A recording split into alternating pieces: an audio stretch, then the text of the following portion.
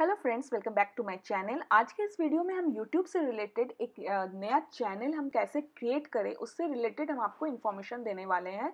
Step by step process मैं सारा बताऊँगी कि किस तरीके से आप अगर नए हैं और एक नया चैनल क्रिएट करना चाह रहे हैं तो कैसे आप क्या क्या चीज़ें फॉलो करें और कैसे आप नया चैनल क्रिएट करें। तो इस, मेरे इस वीडियो में एंड तक बने रहिए।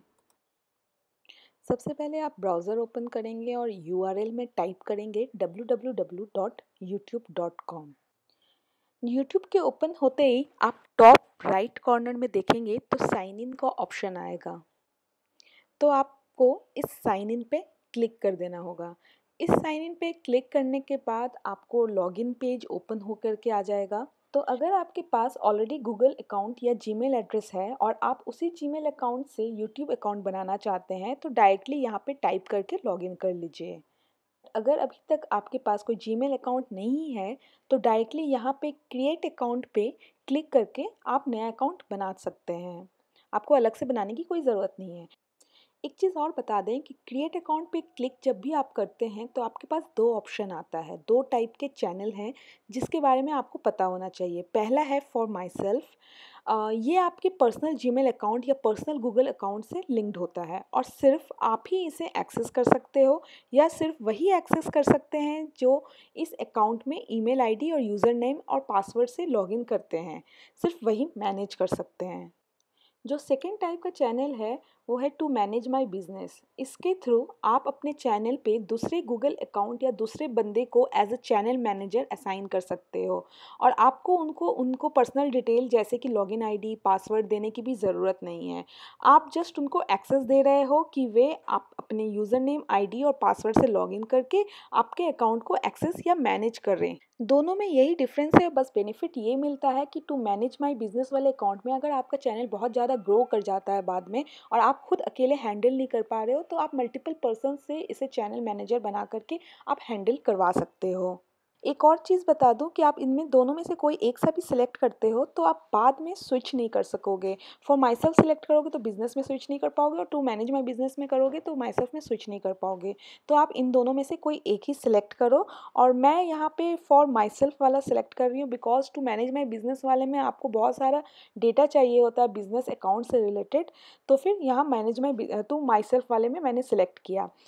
नेक्स्ट ये वाला पेज ओपन होकर के आएगा, यहाँ पे आपका नाम टाइप करना है, आपके पास ऑलरेडी ईमेल एड्रेस होगा तो ईमेल एड्रेस टाइप करिएगा, नहीं है तो क्रिएट करिएगा और पासवर्ड डाल करके कंफर्म करके आपको नेक्स्ट पे क्लिक करना है। तो मैं यहाँ पे टाइप करके दिखा देती हूँ फ़र्स्ट नेम जैसे कि मैंने अपना डाला।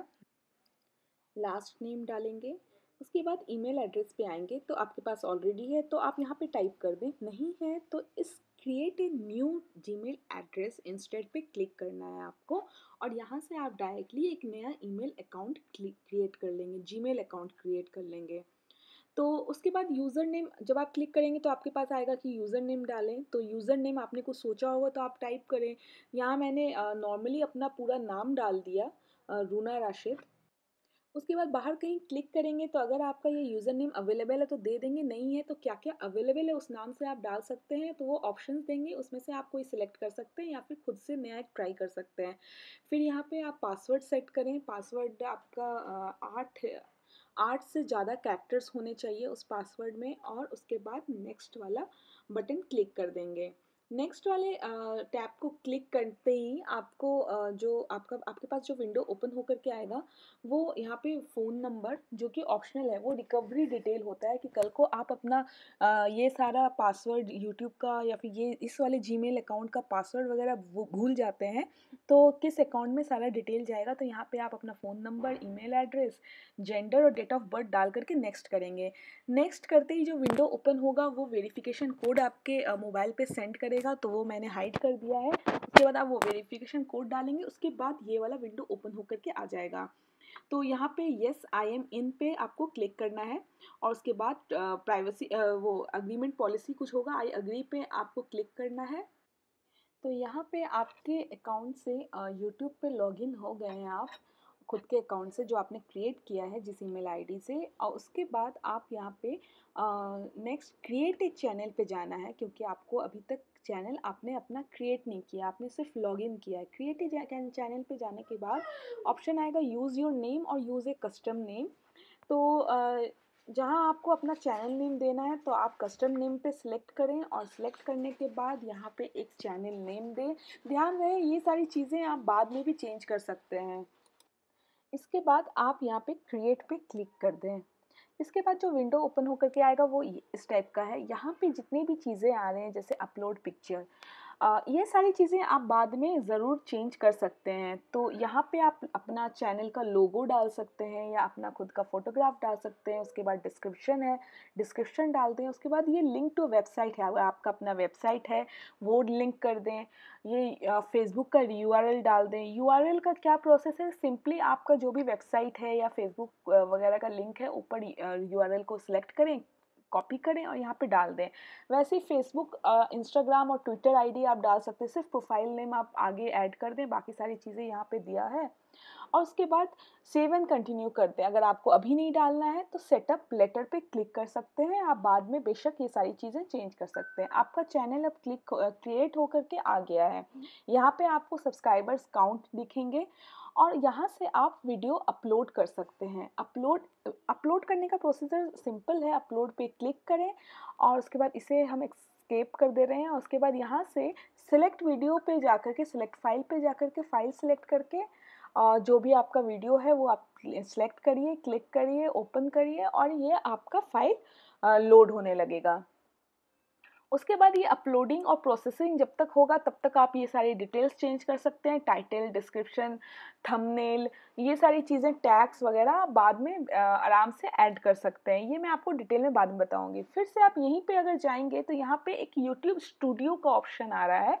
यूट्यूब स्टूडियो से आप अपने चैनल को मैनेज कर सकते हैं। एक ऐप भी आता है यूट्यूब स्टूडियो का, वो आप अपने फ़ोन में इंस्टॉल कर लेंगे तो आप अपने फ़ोन पर ही ये सारे डेटा आपका सब्सक्राइबर काउंट अपने डैशबोर्ड से रिलेटेड कि एनालिटिक्स क्या है रिवेन्यू क्या है, ये सारी चीज़ें आप देख सकते हैं।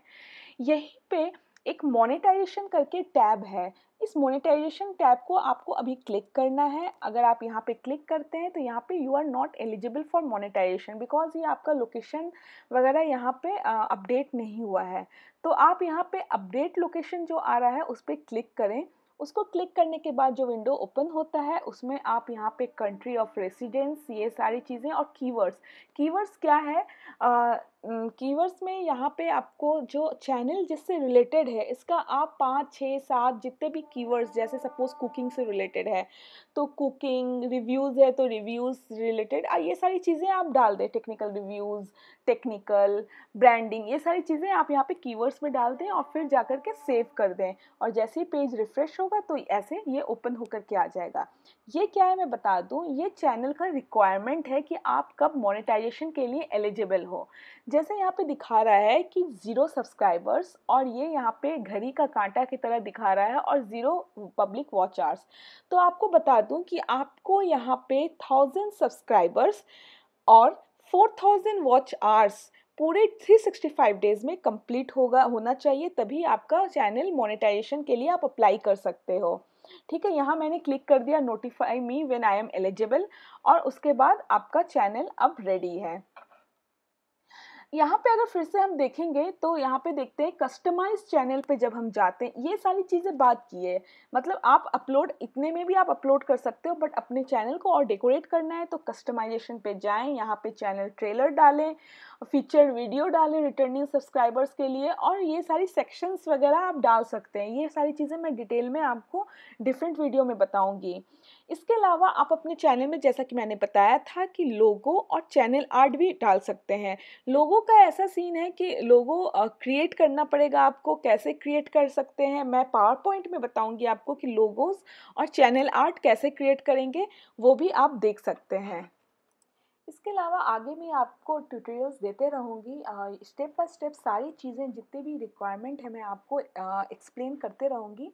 और अगर आपको मेरा ये वीडियो पसंद आया हो तो मेरे वीडियो को लाइक करें शेयर करें और मेरे चैनल को सब्सक्राइब करना ना भूलें। Thanks for watching my video